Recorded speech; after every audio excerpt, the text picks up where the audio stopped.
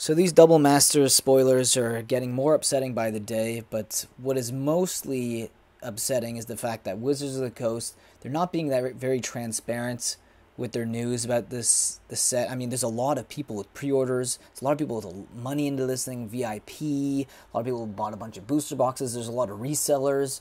There's a lot of stores that want to know more content, you know, information, and we're not getting that much. But Today, Wizards of the Coast revealed in a comment dispute with a uh, seller that there is different rarities in the box topper slot. So, not like how un- Ultimate Masters basically all the box toppers had the same rarity. You know, so if you buy 100 booster boxes, you probably get, and you open them all, you probably get like a fair, a fairly equal amount of box toppers uh, per each set. So if you're a reseller, you can have pre-release sales and you wouldn't be really screwed. You know, you get a pretty even amount to be distributed.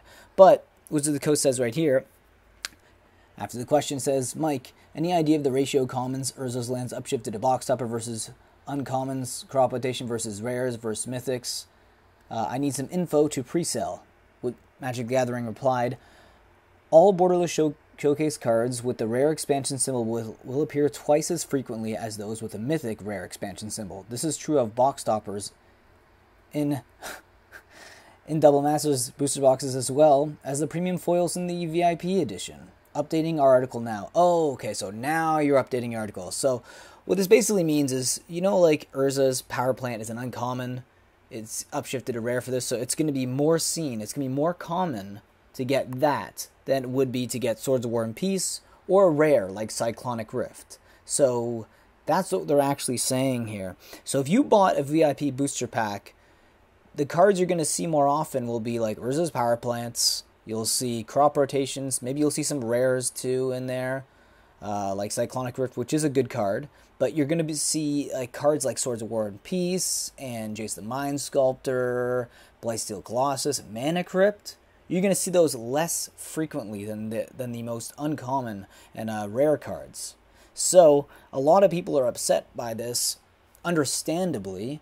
I mean, I ordered a bunch of this product. I, I didn't order that much VIP, but I did order at least four booster boxes and order two VIP booster packs. Not a lot. I'm not a reseller here, but I'm a collector of the game and I enjoy playing it, so I wanted to open up some product for myself. But now, I have to go through the dilemma of whether or not I want to cancel my pre orders because honestly, this is such a, a money grabbing move that Wizards done here by telling people that VIP is going to be well worth the money. So what do they do? Well in advance, they have the Mana Crypt spoiled, Atraxa, they have Blightsteel, and they're getting people just salivating, being like, "Oh my God, there's gonna be so many. What if there's Force of Will? You know, what if there's the Mind Sculptor, Liliana the Veil? What what's gonna happen here?"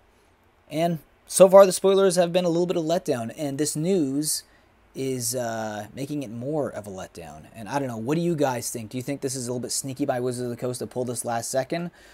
Or do you think they just slipped right by them to not mention this in the first place? Or did they just want to get that pre order money down right away and lock those orders in? But it's going to hurt game stores in the end if people cancel their pre orders.